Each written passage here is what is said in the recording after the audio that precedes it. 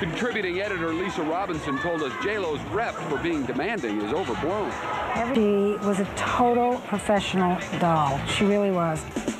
So it went well into the night, and the guys were showing up with the meat deliveries, and they saw Jennifer Lopez and they flipped out. Jennifer, Gwen Stefani, Sheryl Crow, and Alicia Keys share the fold-out cover